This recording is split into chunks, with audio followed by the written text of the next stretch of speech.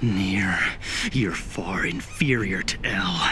You have no right to be wearing a mask of L. It's them. Those four are the SPK. And the one wearing the mask is Near.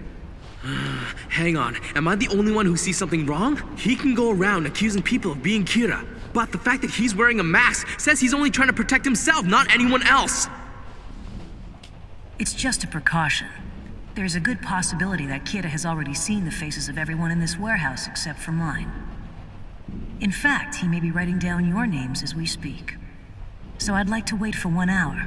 No, make it 30 minutes. That should give us more than enough time to see if anyone is being controlled before they die. Huh? What? You're gonna wait and see if we die?